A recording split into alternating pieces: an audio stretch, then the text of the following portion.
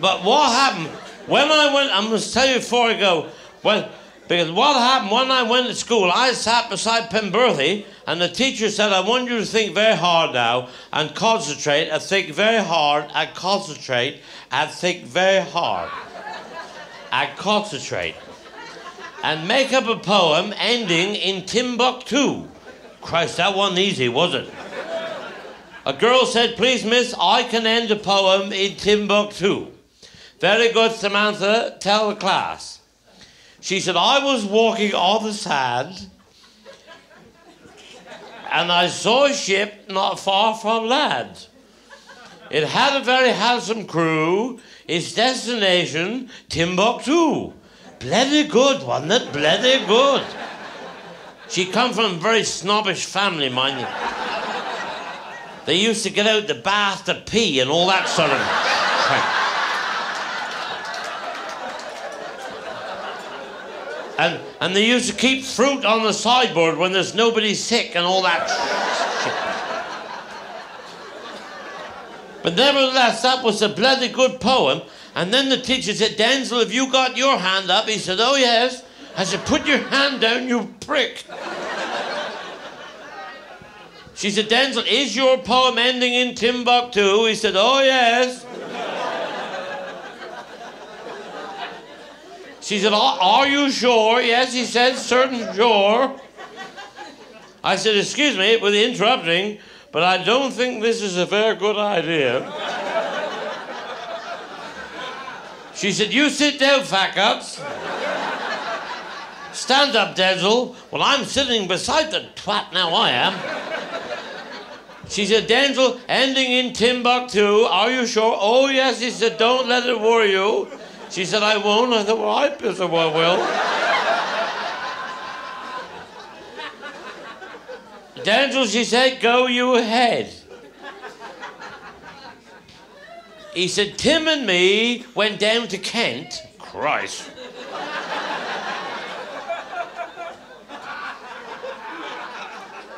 and we found three women in a tent. Well, he said we couldn't think of much to do, so I bought one and Tim bought two.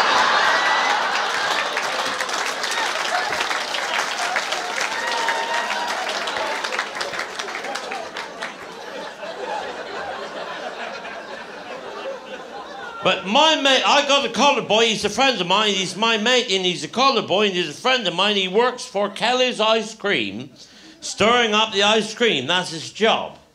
He he don't work any better, but he's easier to find when he fall in.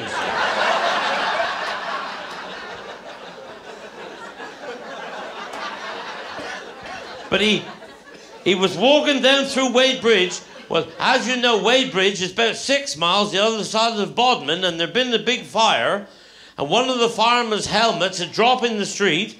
And give the boy credit, he put the helmet on his head and he carried it up to the fireman. Now, wasn't that bloody nice?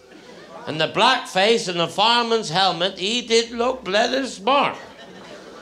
And when he got up top, one of the Wadebridge firemen said, My word, he said, You're a coloured boy. He said, Where you from? Well, he said, I'm from the West Indies, you know. Well, he said, that's bloody fantastic. He said, Bodmin haven't got here yet.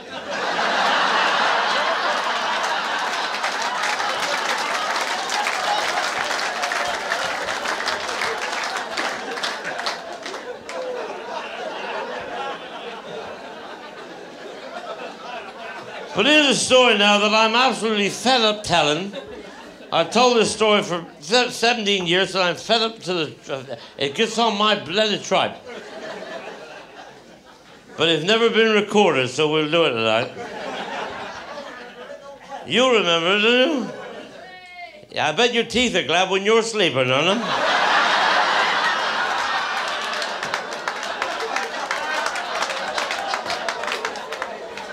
Always think it's a shame when cousins marry like that.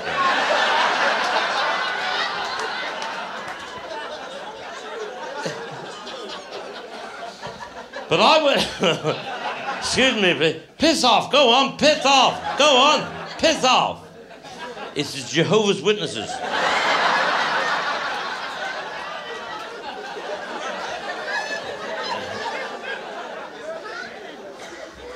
Anyway, I've been in to see my bank manager today. I said, Good morning. I've come about opening a joint account. He said, Who with? I said, You, ya bastard.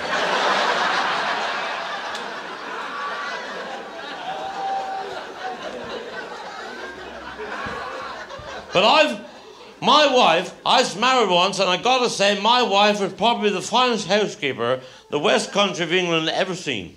She kept my house and all the pieces of furniture. And the bloody car.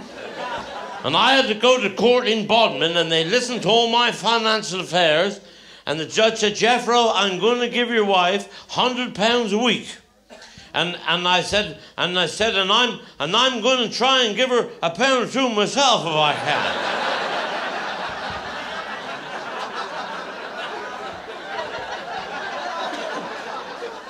And then come the next case, a man from Camborne had up for shagging a goat. A man from Camborne. A man from Camborne. He was, he was fined £500 for shagging a goat. And the man from Redruth, he fined £500 for acting a goat.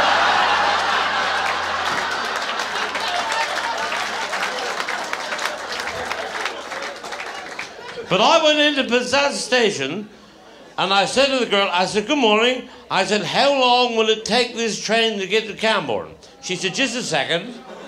I said, Thank you very much. And, and I got on in the carriage, and there's a woman sitting right opposite me with a miniskirt and no knickers. Well, you don't know where to look, do you?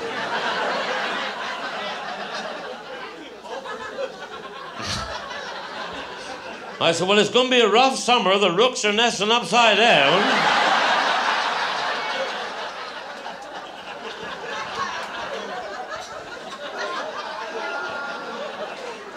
well, it was embarrassing for me because I had my tight trousers on.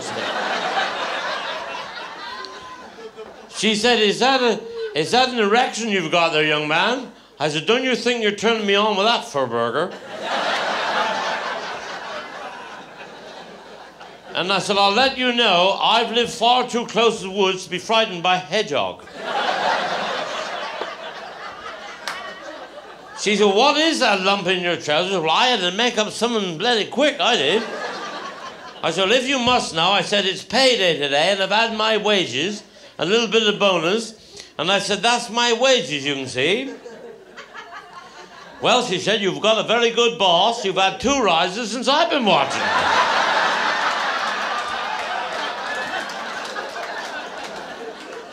And then the guard come on. He's he is the biggest black man I've ever seen. He, he is. I never. See, he must have gone to sleep in the prison greenhouse actually. And I said, How long before we get to Camborne? Camborne, he said, it'll be about 10 minutes. I said, That'll be fantastic, won't it? He said, Have you got to get off at Camborne? Oh, yes. I said, I got to see a man called Slipalong Travascus at Camborne on the stage, but he said it's Wednesday. Did you realize that it's Wednesday? Did you realize that it's Wednesday? And he said, We don't stop Camborne Wednesdays. I said, Well, you got to stop because I got to get off. But he said, We don't stop Camborne Wednesdays. And he said, We never have stopped Camborne Wednesdays. And he said, I don't think we ever will stop Camborne Wednesdays because we never have we never have stop Camborne Wednesdays. But I said, I've got to get off. But he said, we don't stop. I said, I think I heard you mention that earlier, you know. He said, you'll have to go to Truro and walk back. I said, I can't do that. He said, well, he said, we don't stop Camborne Wednesdays. And he said, I said, well, if you won't stop, you bastard. I said, I'll pull the cord. He said, don't pull the cord. You'll have to pay a fine and fill in forms. He said, it's a hell of a job. He said, have you got to get off? Yes, I said, I've got to get off, you prick. well, he said, I can assure you that we don't stop Camborne Wednesdays, but I will have a word with the driver and see if I can get the driver to slow up going through Camborne if you gotta get off. I said, I gotta get off. But he said, we don't stop. I said, well, he come back, he said, the driver have told me to tell you that they don't stop Camborne Wednesdays, But he will slow up. I said, well, I said, what am I going to do? He said, well, I'll hang you out the window with one arm and you start to run in midair. When I think you're running at the right speed, I shall drop you. Christ. We come in the camera and the bastard never slowed up at all. He was splendid flying. He must have been a hundred mile an hour. Chickadee, chick, he bled flying. And this great old black bugger hang me out the window. He said, right old fat guts, pick your feet up, lad. I bled flying. He said, faster, faster. I got my money, all fell out my pockets. I bled flying. He said, faster. And when he dropped me, Christ, I went up the platform like a cut cat. I said, the next problem is, is the platform going to be long enough for me to stop? And the carriages was going by me. I thought, well, they don't stop Camborne Wednesdays, but I don't give a bugger because I'm on the platform anyway. The fact I'm still doing 75 miles an hour, it's nothing to do with it. And you know, the next carriage come on, a man put his arm out the door and dragged me in. Jeffrey we said, you're lucky to catch this train.